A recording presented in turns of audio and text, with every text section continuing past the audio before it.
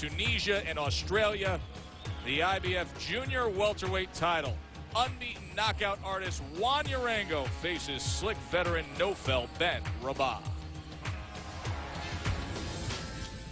Juan Urango is a power-punching southpaw who's dedicated to his religion and his profession. He's clean living out of the ring and risk-taking in it. The results have been impressive. In his last fight, he took on the capable Brooklyn-based veteran Andre Eason.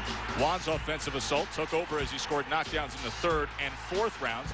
Then in the seventh, he finished him off. No other fighter has knocked out Eason, not Panchito Bojado, nor Demetrius Hopkins.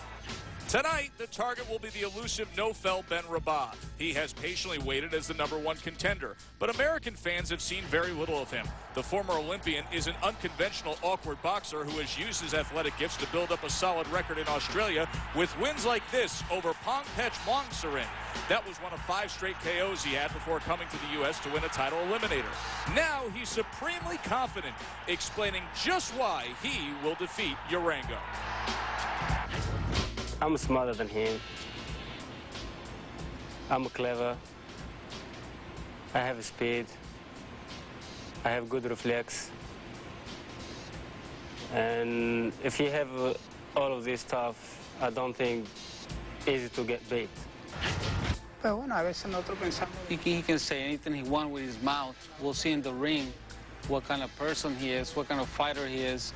I'm, a, I'm the type of fighter that pressures, and uh, it- you know we'll see uh, what kind of style he brings once the fight starts.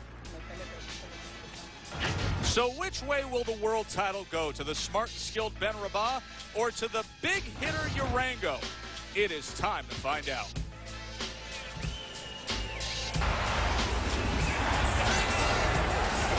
Moments ago, Ben Rabah getting some love and support from Bernard Hopkins. B-Hop here tonight. He's got a promotional piece of Naoufel Ben Rabah.